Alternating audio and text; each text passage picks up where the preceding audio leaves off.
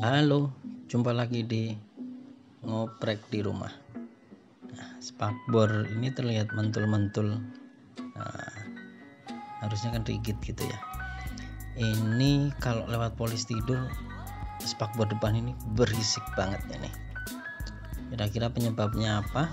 Nah, kita lihat kita lihat dari bawah ya kita shoot dari bawah spakbor ini uh, nah itu terlihat ya terlihat retakan nah saya goyang-goyang terlihat kan itu? Itu sudah tidak nyambung lagi. Jadi motor ini kan yang pakai istri saya. Nah kemarin saya pakai itu tiap lewat polis tidur. Polisi tidur atau pita apa sih? Bukan pita tidur ya namanya uh, pita kejut ya. itu berisik banget. Bunyinya deg deg deg deg deg deg pokoknya berisik gitu lah mengganggu kenyamanan terus saya intip. Nah ternyata itu ada retakan itu oke? Kita akan dongkrak ya ini ya. Kita ganjal uh, bagian bodi bawah itu. Kita dongkrak ke atas karena nanti ban motor ini akan kita lepas jadi ini motor Mio Z tahun 2000 2016 atau 17 ya agak lupa antara itu pokoknya. Uh, cara melepasnya ini jadi kita ini projectnya itu ingin melepas spakbor itu. Jadi spakbor yang udah pecah itu udah retak itu akan kita lepas.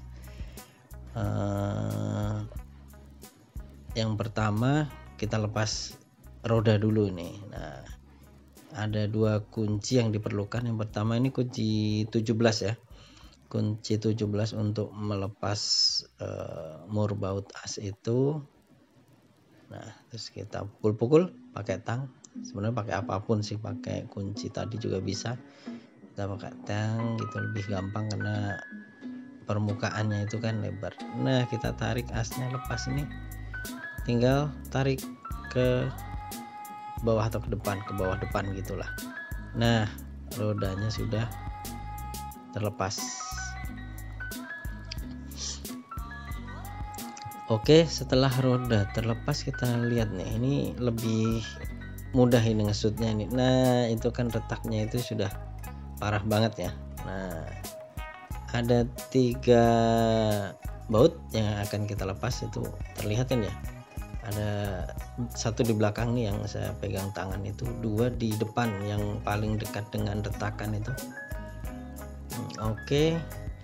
Kita akan coba menggunakan kunci. Nah ini kunci apa sih kunci segitiga ya. Ini ada ukuran 12 14 dan 10 oke.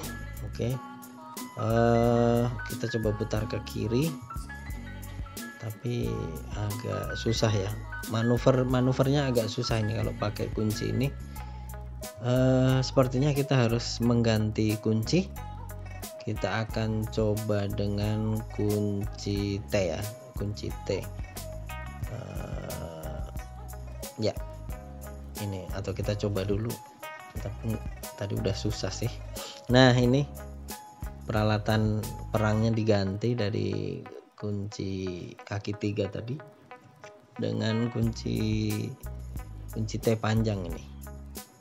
Oke kunci T ada yang pendek juga kan? Ini yang panjang ini. Kita putar ke kiri ya. Putar ke kiri ya. Yang pertama aja sih agak uh, agak keras. Tapi setelah itu ya lebih enteng. Hmm, dua depan itu udah lepas. Oh yang ketiganya udah kendor semua sih. Jadi kalau sudah kendor kita bisa lanjutkan dengan tangan ya. Kita putar dengan tangan. Nah yang paling belakang itu yang satu itu yang single di belakang udah lepas.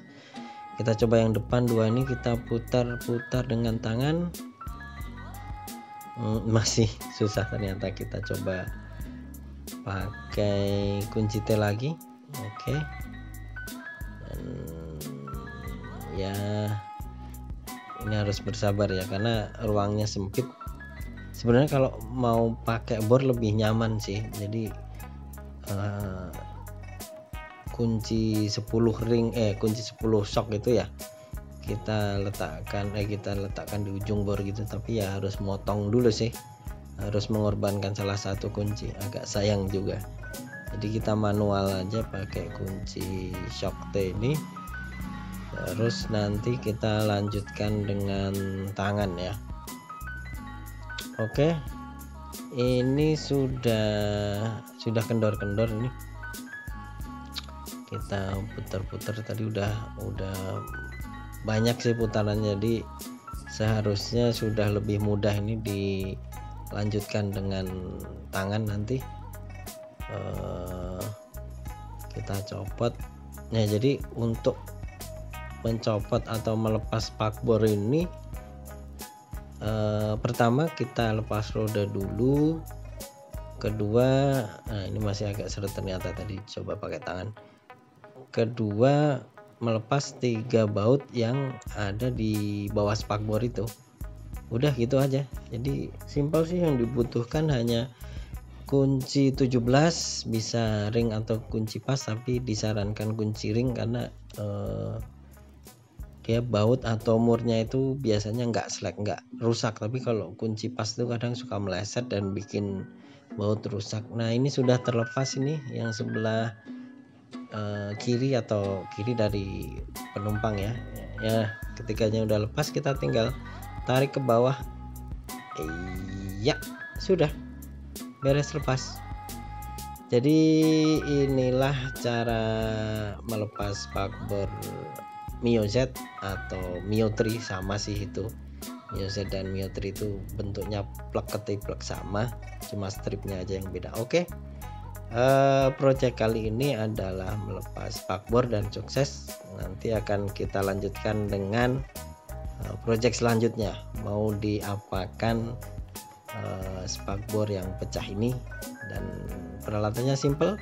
Hanya kunci shock T10 dan kunci 17 oke itu tips kali ini. Jangan lupa baut-bautnya dikumpulkan jadi satu biar enggak tercecer dan enggak bingung. Nah, ini tang tadi cuma buat ngetok-ngetok doang. Uh, demikian tips ngoprek kali ini. Sampai jumpa di tips-tips berikutnya. Tetap sehat dan bahagia. Terima kasih semuanya